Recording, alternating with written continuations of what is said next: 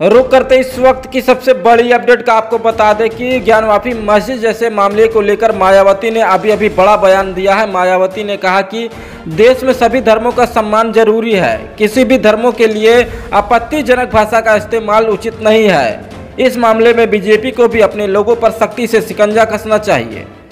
केवल उनको सस्पेंड व निकालने से काम नहीं चलेगा, बल्कि उनको सख्त कानूनों के तहत जेल भेजना चाहिए।